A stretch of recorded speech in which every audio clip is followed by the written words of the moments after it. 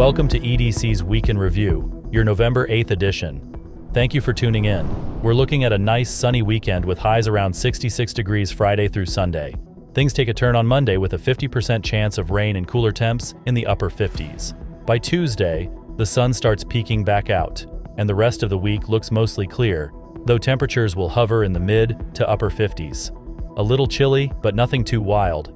Now on to our top stories. Over 5,000 pounds of illegal fireworks seized, the El Dorado County Sheriff's Explosive Ordnance Disposal Team recently confiscated more than 5,600 pounds of fireworks, many of which are illegal in California.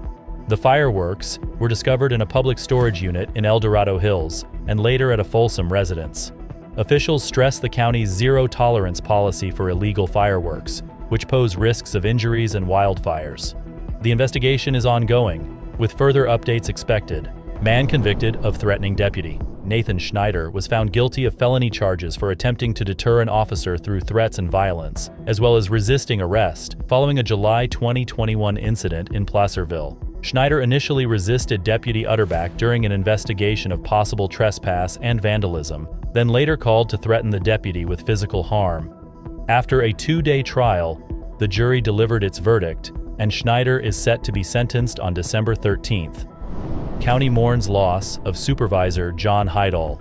John Hidahl, El Dorado County District 1 supervisor and dedicated public servant, passed away unexpectedly on November 4th at his home in El Dorado Hills. Known for his four decades of community involvement, Hidahl was deeply committed to improving the lives of residents through his roles in local government and civic organizations. Colleagues and friends remember him as a tireless advocate for his district, a devoted family man, and a leader with a profound sense of duty. His passing leaves a significant void in the community he served so passionately. Midnight fire contained near Diamond Springs. Early Monday morning, firefighters quickly contained a wildfire in the Tiger Lily area southeast of Diamond Springs. The blaze, first spotted after midnight, burned 1.14 acres of grass and scattered oak trees before crews from CAL FIRE and local agencies halted its progress. No injuries or structural damage were reported, though the fire's cause remains under investigation. Commission weighs zoning and housing changes. At its recent meeting, the Placerville Planning Commission tackled several key issues, including a zoning change proposal for rural development and concerns over a new affordable housing project, the proposed Clementine project drew criticism from residents over traffic and emergency access.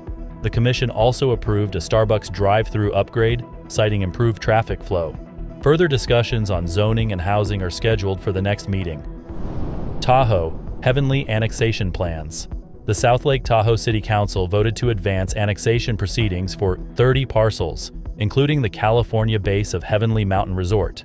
The move aims to provide more efficient public services, such as snow removal, while incorporating the area's zoning under city jurisdiction. The decision faced criticism from Heavenly, citing concerns over jurisdictional uncertainty and tax implications, but city officials emphasized the benefits of resolving long-standing boundary issues. Negotiations for a tax-sharing agreement with El Dorado County will follow. And now for some news nuggets. Starting December 7th, the El Dorado Hills Fire Department's Santa Run will collect toys and food for Shriners Hospitals and the El Dorado County Food Bank, with multiple donation sites and online contributions available. The California Department of Fish and Wildlife is accepting applications for the Vamos a Pescar grant program, which funds multilingual fishing and aquatic education initiatives. Applications are due by December 1st. On November 11th, Veterans Day, the USDA Forest Service is waiving day use fees in national forests to honor military service and encourage outdoor recreation. Now onto our closing stories. Tahoe Film Fest marks 10 years. The Tahoe Film Fest celebrates its 10th anniversary this December, showcasing award-winning films and environmental documentaries in North Lake Tahoe.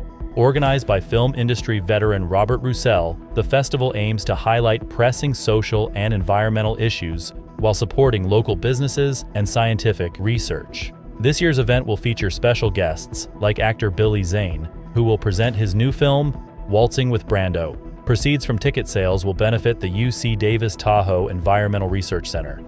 Placerville Veterans Day. The annual Veterans Day ceremony will be held at the El Dorado County Veterans Monument on November 11th at 11 a.m.